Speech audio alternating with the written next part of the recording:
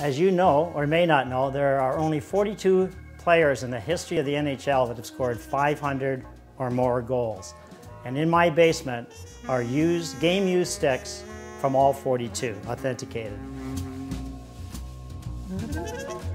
You can see the history of the hockey stick by starting with the Rocket Richard, whose stick is probably 55 or 60 years old, and we end up with Iginla.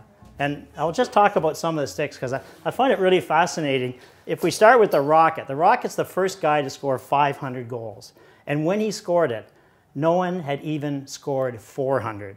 And that night, the announcers were saying, you know what, we may never see this again. And if you look at the Rocket stick, I mean, how fascinating is this? His stick is supplied by Raymond's Hardware Store. This is like a, a little hardware store outside of Montreal, right? And it's signed and look at the tape job. Unlike players today, or, or even myself, where we tape really wide, he is taping to make this thing last, I think, for a long time.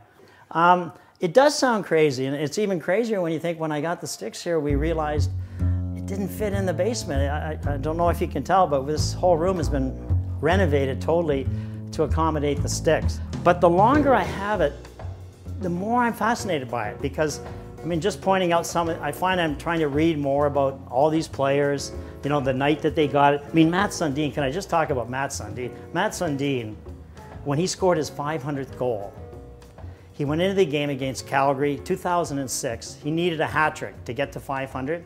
Not only did he get a hat trick, he scored the 500th goal in overtime, shorthanded.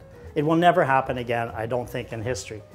Um, so, I mean, stuff like that is just, I, just find I'm learning more about the game and appreciating it more. But um, I think people spend money on a lot sillier things than hockey sticks. I, I don't, I mean, people spend way more on art and all kinds of things. And um, I've just seen the joy it's brought me, brought my family and lots of friends. So to me, money well spent. So.